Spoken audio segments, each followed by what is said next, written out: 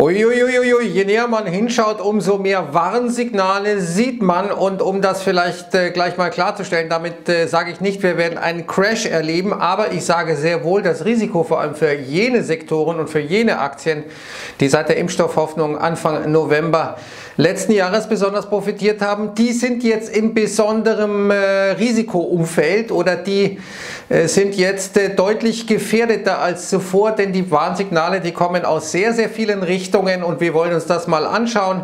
Wie gesagt, das ist keine Crash-Prognose, ich sage nur, die Risiken steigen, vor allem für jene Sektoren, die besonders gut gelaufen sind, äh, die äh, richtig performt haben und die letztendlich darauf basieren, auf dem sogenannten Reopening Trade, wie die Amerikaner sagen, oder der Reflationstrade könnte man auch sagen. Also die Vorstellung, die Wirtschaft, die springt ganz toll an, dann entsteht Inflation, dann muss letztendlich äh, irgendetwas passieren mit den Renditen, dass die weiter steigen. Aber es könnte sein, dass wir jetzt vor fallenden Renditen stehen und wir haben gestern schon fallende Renditen am US-Anleihenmarkt gesehen, aber den Aktienmärkten hat es nicht geholfen, denn offenkundig ist das auch eine Flucht in die sicheren Häfen. Aber schauen wir uns die ganze Geschichte mal nacheinander an. Was wir hier sehen, ist einer der wichtigsten sicheren Häfen, in Anführungszeichen, nämlich der Dollar, der Dollarindex. Und wir sehen, das sieht irgendwie nach einer echt gelungenen Bodenbildung aus, jetzt im größeren Zeitfenster.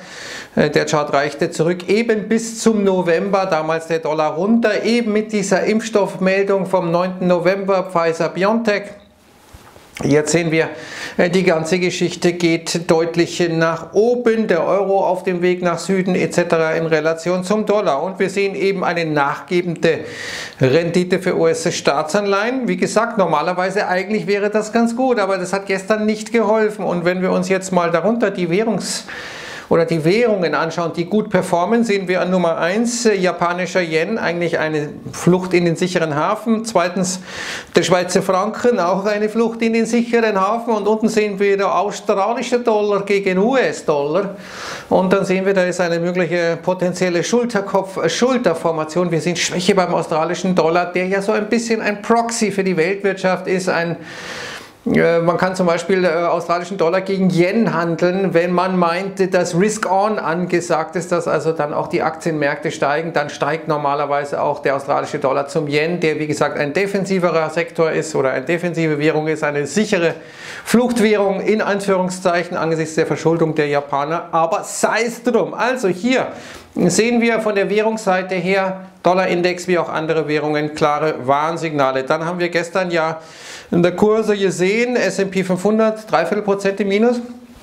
Ging dann noch relativ dynamisch nach unten, nachdem man ja lange Zeit im Plus war. Nasdaq minus 1,12, äh, Nasdaq 100 besser 0,53, aber vor allem Small Caps über 3% im Minus und der WIX, die Wohler äh, um 7% gestiegen. Und das vor dem Hintergrund, dass wir am Montag die größten Zuflüsse hatten in Triple Q, also in dieses maßgebliche Nasdaq ETF seit dem Jahr 2000, also alle nochmal schnell rein in Tech, nachdem Tech ja vorher nicht so gut gelaufen war. Und es könnte sein, dass Tech jetzt, falls die Renditen weiter fallen, Flucht in den sicheren Hafen möglicherweise sich besser hält als eben Value. Wir werden sehen. Aber schauen wir uns diese Grafik nochmal an, die ich gestern Abend schon gezeigt hatte. Hier sehen wir, wir haben jetzt sieben Wochen ansteigende Renditen gesehen. Wie performt der S&P 500 nach einer Periode von sieben Wochen ansteigender Renditen? Nicht so richtig gut. In den meisten Fällen ist das tendenziell negativ. Und das hat durchaus Gründe. Und die sehen wir hier. Denn wir sehen auch, dass jetzt in den letzten Tagen und Wochen die real Realrenditen, also der Renditen minus Inflation, gestiegen sind, sind weniger negativ geworden. Und äh, wie hier Nordea zeigt, Perioden mit äh, fallenden realen Renditen, die gehen meistens voraus einem starken Aktienmarkt und Perioden mit fallenden realen, äh, Perioden mit äh, steigenden Realrenditen äh, gehen meistens einer etwas schwächeren Phase voraus für die Aktienmärkte und hier hat Nordea hier mal diese Grafik gezeigt, die das ein bisschen auf den Punkt bringt. Das heißt, die Gewinnerwartungen der S&P 500 Unternehmen dürften sinken und ich hatte schon öfter Grafiken gezeigt, zeigt Divo, wie äh, manche sagen würden, aus äh, dem Bereich Lothar Matthäus zum Beispiel, Divo also zeigen, äh, dass äh, hier durchaus die Margen der Unternehmen leiden dürften, denn die Inputkosten sind deutlicher gestiegen als eben das, was die Firmen an Verbraucher haben weitergeben können. Und jetzt sehen wir auch den KBW Banken ETF, äh, praktisch die US-Banken, die ja zuletzt super gelaufen sind, die ähm, JP Morgans, die Goldman Sachs haben dafür gesorgt, dass der Dow Jones auf ein Allzeithoch gestiegen ist. Die Finanzwerte waren jetzt äh, extrem gesucht. Versteilung der Zinskurve, Anstieg der Renditen, all das war sehr schick für die Banken. Aber wir sehen hier beim KBW Bankenindex, hier von Michael Silver wieder der Chart, äh, vorhin der äh, Dollar-Chart vom Dollar-Index, der war übrigens von Capital.com. Fast hätte ich das vergessen, ne? aber Gott sei Dank ist mir das noch eingefallen. Aber jetzt sehen wir hier KBW Bankenindex äh, nach oben ausgebrochen, Fehlausbruch, Fragezeichen, negative Divergenz äh, oben im RSE sichtbar. Und wenn wir uns mal anschauen, wer hat denn die meiste Exposure zu Finanzwerten jetzt bei den US-Indizes, dann ist es der Russell 2000. IWM ist das maßgebliche ETF und das sind mehr als 20 Prozent äh, in diesem Index sind Finanzwerte, vor allem regionale Banken etc. Dann kommt Healthcare, Industrials, die werden auch relativ stark betroffen von äh, nachlassender Bereitschaft, hier an diesen Reopening Trade äh, zu glauben. Und wir sehen hier mal das TLT Anleihen ETF, also ein ETF, das praktisch die länger laufenden US-Staatsanleihen abbildet. Sehen wir hier jetzt deutliche Erholung. Es ging ja nur nach unten, weil die Renditen nach oben gegangen sind. Aber wir haben eine positive Divergenz beim SE oben. Und das bedeutet, da ist die Chance nicht schlecht, dass jetzt diese Bewegung, die wir gesehen haben, nämlich steigende Renditen, erstmal zurückgenommen wird. Und wenn man sich mal CNBC anschaut, also praktisch die Berichterstattung in den USA, da ist Deutschland ein entscheidender Faktor. Da sagt man immer wieder, Germany hier hat jetzt richtig äh, Lockdown äh, bis äh, Mitte April. Und äh, dieser ganze Reopening Trade äh, wackelt damit äh, ein bisschen und Germany ist für die Amerikaner gleich Europa. Äh, so hat man den Eindruck, jedenfalls sehen wir hier, da könnte durchaus jetzt was passieren, zumal ja alle auf steigende Renditen positioniert sind. Praktisch ein Squeeze äh, wäre da jetzt nicht unwahrscheinlich. Und nächstes Warnsignal, wie gesagt, ich versuche jetzt nicht zu bädisch zu sein. Ja? Also es kann gut sein, dass weil wir überverkauft sind, zum Beispiel im Russell 2000, auch in anderen Indizes, im kurzen Zeitfenster, im sehr, sehr kurzen Zeitfenster übergeordnet sind wir nach wie vor extremst überkauft, wie ich gleich zeigen werde. Aber sei es drum, können wir durchaus eine Erholung sehen. Aber die äh, ist nach meiner Auffassung, nach meinem Empfinden mit Vorsicht zu betrachten. Wir sehen, äh, was gestern zum Beispiel an der Wall Street gut gelaufen ist. Utilities, also Versorger, defensiv. Die gehen meistens nach oben, wenn die Renditen fallen, weil die praktisch so eine Art äh, Staatsanleihenersatz ist, weil sie eine sehr gute Dividendenrendite haben. Consumer Staples, defensiv. Real Estate, defensiv. Gut, dann kommt die Technology, hat sie gestern besser gehalten. Und weiter unten sehen wir Financial Energy, Industrials und Materials. Industrials und Materials sind natürlich hier auch diese Reflationstrades, diese, die Wirtschaft wird sich toll erholen, Trades, die sind gestern unter Druck äh, gewesen und wir sehen jetzt, dass seit dem 15.3., also seit Mitte des Monats, äh, wir jetzt die Situation haben, dass die Werte, die seit Jahresbeginn am besten gelaufen sind, jetzt am schlechtesten performen, wie Bespoke hier zeigt, also die sind deutlich im Minus. Die am besten gelaufen sind, sind jetzt 12,5% äh, im Minus seit äh, gut einer Woche. Also da kehrt sich die ganze Geschichte um. Offenkundig ist da etwas irgendwie der Fall, dass jetzt alle in sichere Häfen, wollen. Sichtbar am Devisenmarkt, sichtbar jetzt langsam auch am Anleihenmarkt und sichtbar eben auch am Aktienmarkt in dieser Sektorrotation, die wir jetzt haben. Einer der Gründe, nach meiner Auffassung, ja, also wenn Sie jetzt mich fragen, eine subjektive Einschätzung gewissermaßen. Ich hatte das Gefühl, die Bank of Canada hat gestern ja mitgeteilt, dass man im Prinzip die ganzen Pandemic Bailout Facilities äh, abschaffen werde, also praktisch diese Sondermaßnahmen, die man ergriffen hat im Rahmen der Corona-Krise. Faktisch bedeutet das, dass die Bank of Canada jetzt klar gesagt hat, wir machen Tapering, wir führen also die Anleihekäufe zurück Richtung Null, denn es sei genug Liquidität im System und da sehen Sie den Jerome Paul, der sieht irgendwie so aus wie Stan Laurel. Der schaut da ein bisschen betröppelt, der sieht es noch ganz anders, aber das ist sozusagen vielleicht das erste Signal und nach meiner Auffassung, ich habe das, vielleicht ist das Zufall, aber es ist ziemlich zeitgleich passiert mit dieser Ankündigung, dass dann auch die Wall Street ein bisschen weniger gut gelaunt war und wichtig auch, was in New Zealand, in Neuseeland beschlossen wurde. Da sehen wir zum Beispiel stark fallende äh, Anleiherenditen weil die Regierung gesagt hat, wir werden jetzt äh, die Anstiege der Haus, äh, der Immobilienpreise dadurch unterbinden, indem wir Spekulationen massiv erschweren, extrem äh, versuchen hier diese massiven Preisblasen am Immobilienmarkt hier zu verhindern. Das ist so eine Post-Corona-Maßnahme, die wahrscheinlich in vielen westlichen Ländern kommen wird.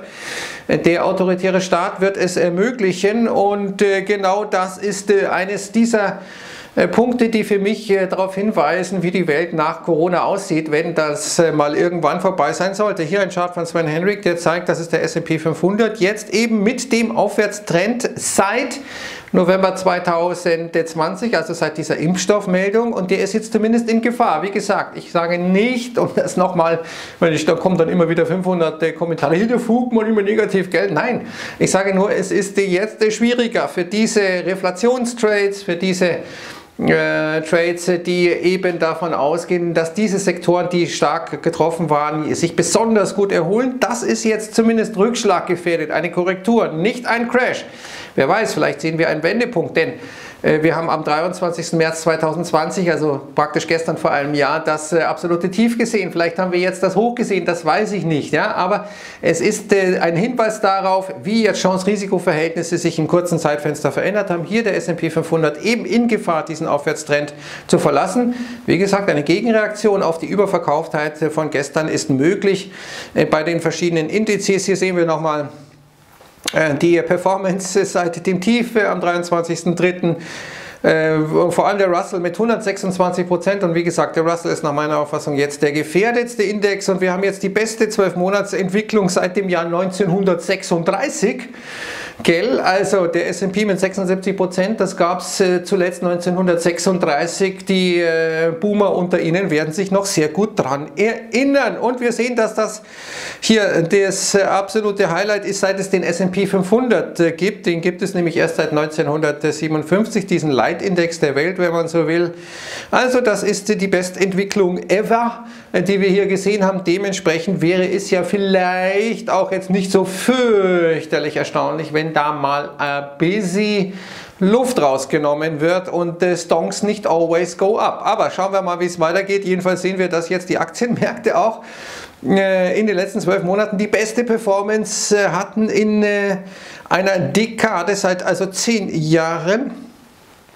Ähm, praktisch seit eben der Finanzkrise oder dem Post-Finanzkrise, der Reaktion dann auf die Finanzkrise ab 2009 ging es herauf für die Aktienmärkte, aber jetzt haben wir auf jeden Fall in Relation äh, Equities zu Bonds Bonds wurden ja jetzt äh, abverkauft zuletzt äh, und äh, wir sehen, dass aber vorher ja eine Bond Rally der Fall war, wie selten gesehen. Die Anleiherenditen sind ja ständig gefallen. Also das ist äh, ein, eine Outperformance von Aktien gewesen, die vielleicht jetzt ein bisschen schwieriger jedenfalls wird und auch die Robin Hooder, die scheinen jetzt langsam andere Dinge zu tun, äh, als eben zu traden. Wir sehen, dass das Trading-Volumen über diese äh, Neo-Broker in den USA wieder etwas zurückgeht, weil die Leute eben teilweise vielleicht auch wieder zur Arbeit gehen und nicht zu Hause sitzen und mit einer App agieren. Kommen wir zu Deutschland, das ist vielleicht einer der Sorgenkinder, auch für die Wall Street, praktisch als Synonym für Europa, wenn man so will, 15.800 Fälle, sehr hoch.